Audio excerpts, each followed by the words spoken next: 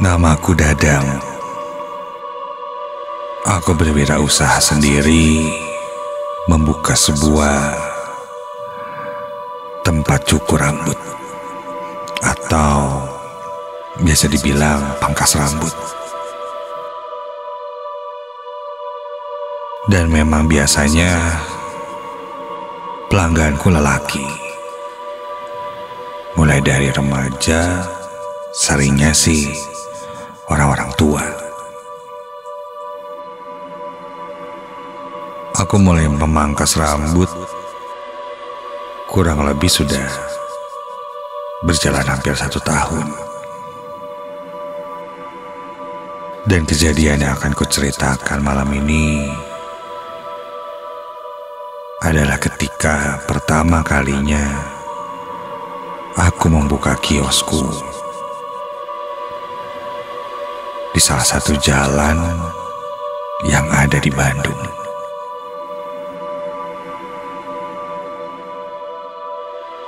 Aku membuka kios pangkas rambut ini di dekat sebuah pohon yang sangat besar. Kiosku tidak besar. Ukurannya mungkin sekitar 2 kali 2 meter. Dan di sebelah-sebelahku ada jongko atau warung-warung yang lain juga. Sebelum kujadikan tempat atau kios pangkas rambutku, dulunya lahan kosong tempat pembuangan. Karena ada tempat pembuangan sampah yang cukup besar, akhirnya lahan itu kosong dan disewakan. Ya kebetulan saja Sudah rezekiku Mendapatkan tempat itu dan aku menyewa di sana Aku mulai memasang patok-patok dan mulai membangun kios pangkas rambutku. Singkat cerita, aku pun memulai usahaku itu. Ya, yang namanya pangkas rambut. Sehari mungkin hanya satu, dua, paling banyak lima orang.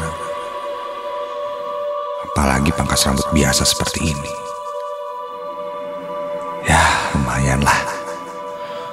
Biaya hidup sehari-hari.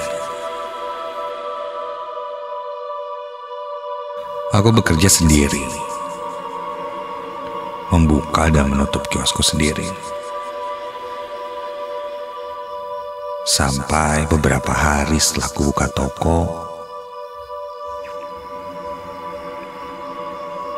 dan ku ingat itu adalah hari Kamis, malam Jumat.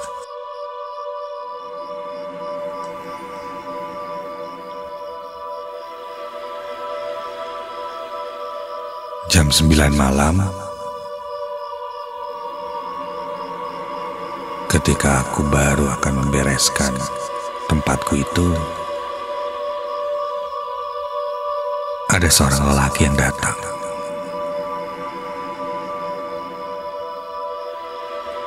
Aku masih ingat betul apa yang dia pakai. Dia memakai jaket jeans lusuh. Kaos berwarna gelap, celana jeans dan sendal jepit. Rambutnya berantakan. Dia datang padaku dan dia bilang cuma punya uang sepuluh ribu. Apa bisa cukur? Rapihin rambut.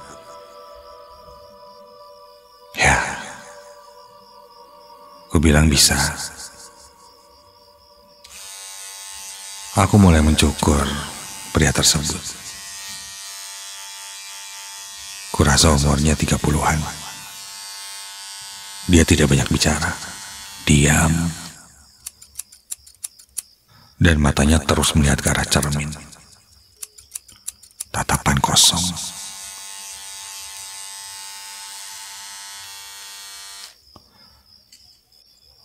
Memotong rambutnya, lalu membersihkannya. Dia pun pergi pamit. Aku sempat mengintipnya. Dia tidak membawa kendaraan dan terus berjalan ke arah jalan yang cukup gelap. Kau lihat kiri kanan, beberapa warung sebelahku sudah tutup. Menyisakan warungku saja. Aku pun mulai membereskan sisa-sisa rambut yang tercukur di lantai. Dan ketika aku lihat ke lantai, loh, aneh. Rambut yang berserakan di lantai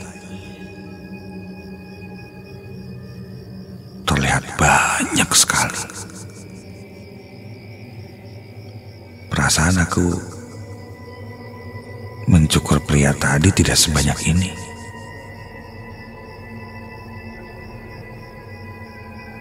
dan helaian rambut yang ada di lantai itu panjang-panjang. Iya, rambut panjang.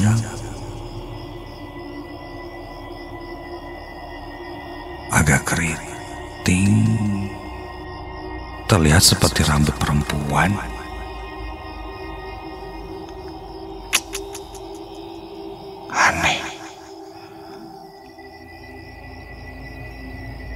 Sudahlah. Aku tidak mau panjang lebar memikirkannya, aku pun menyapu rambut yang ada di lantai itu. Lalu membersihkan dan membuangnya.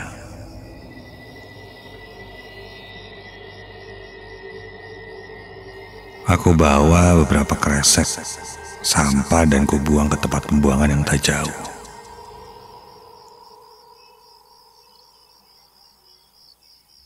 Dan ketika aku kembali lagi ke tempatku, loh,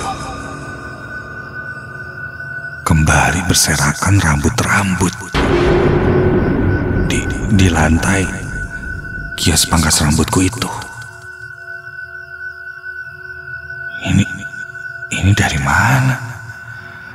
Apa nyangkut di kursi gitu? Dan rambut yang berserakan itu lagi-lagi rambut yang aneh, panjang seperti rambut perempuan, dan hitam. Kembali aku membereskan rambut-rambut itu, menyapunya, bahkan sampai ke kursi-kursi. Aku cek agar tidak ada rambut-rambut yang tersisa. Lalu aku kembali membuangnya ke tempat pembuangan sampah. Dan di jalan aku berpikir, jika aku menemukan helaian rambut lagi, berarti ada yang tidak beres. Dan ketika aku sampai,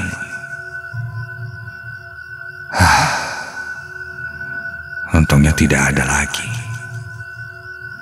Semua sudah bersih. Matikan lampu, kututup pintu dan kukunci lalu aku pergi pulang.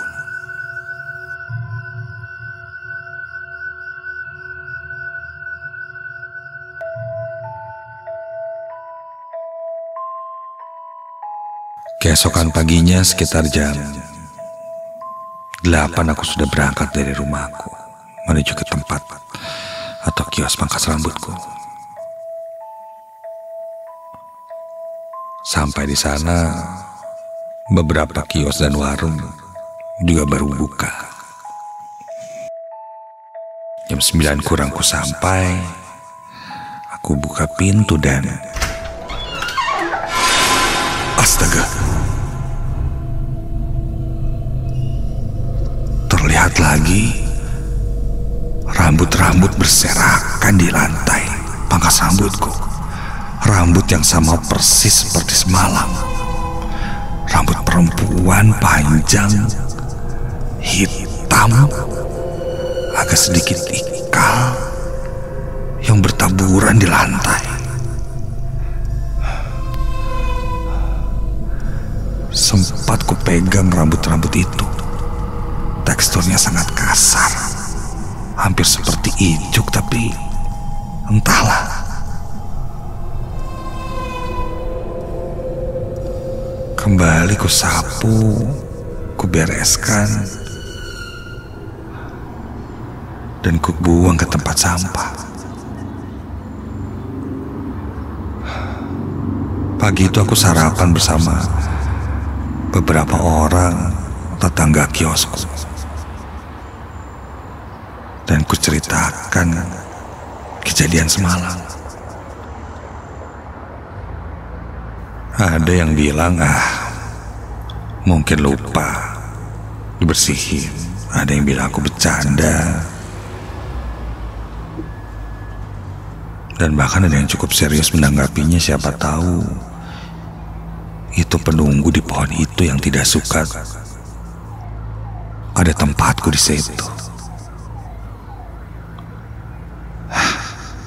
Sudahlah, aku tidak mau berpikir aneh-aneh.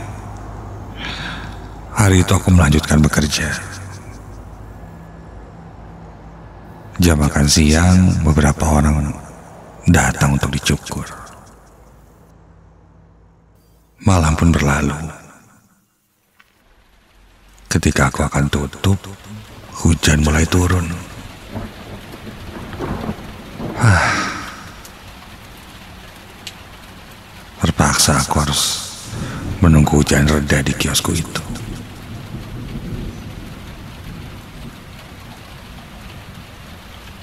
Sekitar jam 9 malam lebih, ada pelanggan yang datang. Pelanggan itu tidak asing. Eh, itu pria yang datang semalam. Kok sekarang datang udah mau cukur lagi?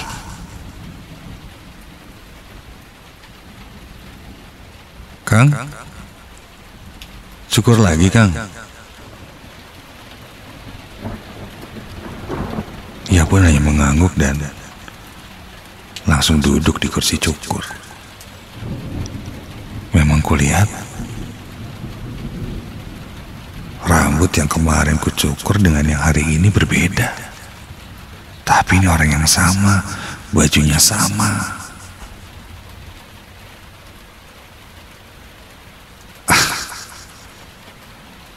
Aku pun mulai merapikan rambut orang itu.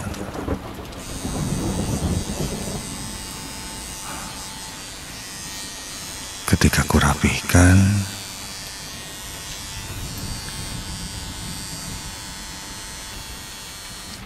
dia lalu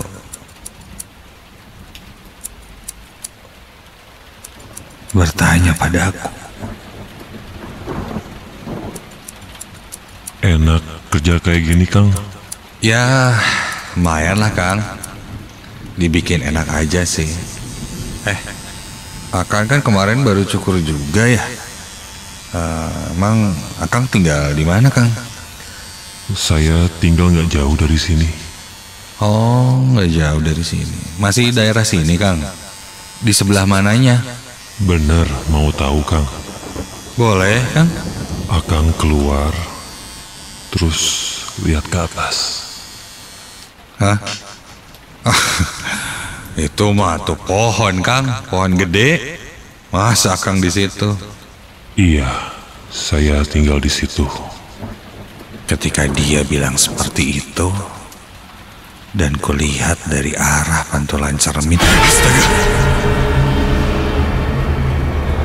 apa yang duduk di depanku itu kini bukan lagi sosok pria itu. Duduk di depanku seorang perempuan dengan wajah yang sangat pucat. Matanya melotot hitam, rambutnya panjang,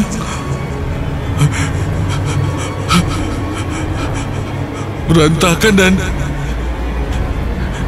dia tersenyum menyeringai padaku.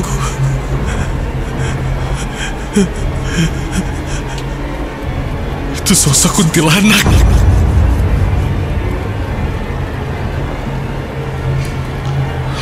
Kontan aku lari keluar dari dari warungku dan ketika aku lihat lagi ke dalam sosok itu sudah hilang. Dan tiba-tiba terdengar suara cekikikan yang menyeruak di telingaku ketika tengok ke atas ya Tuhan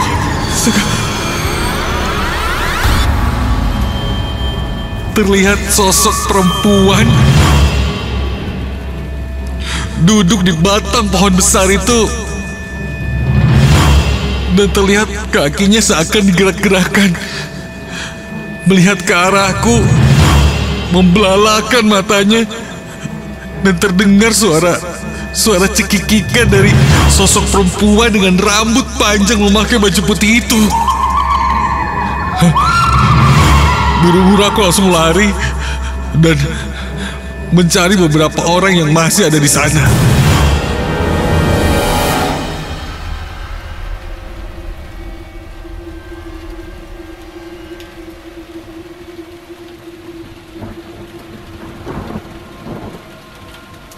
Untungnya di paling ujung ada ada satu blok warung yang masih ramai. Aku coba ditenangkan dan ku bilang aku melihat Kunti di atas pohon itu.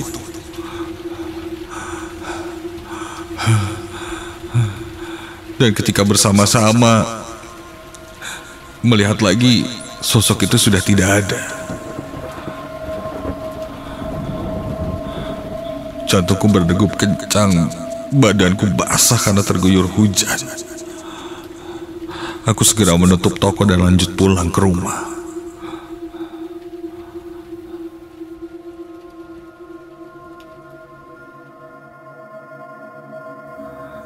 Keesokan harinya,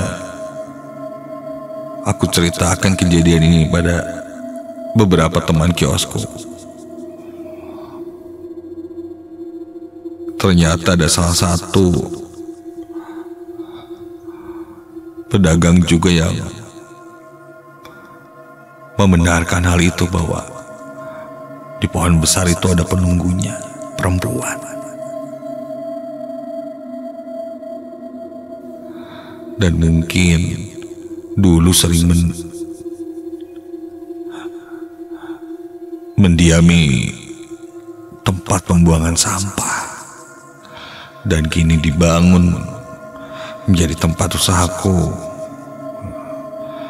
Sosok itu marah. Akhirnya aku pun, aku pun mengadakan syukuran kecil-kecilan di tempatku itu. Untuk sekedar berdoa, selamatan agar tempat ini diberikan barokah. Untunglah setelah itu tidak ada lagi kejadian-kejadian aneh yang terjadi.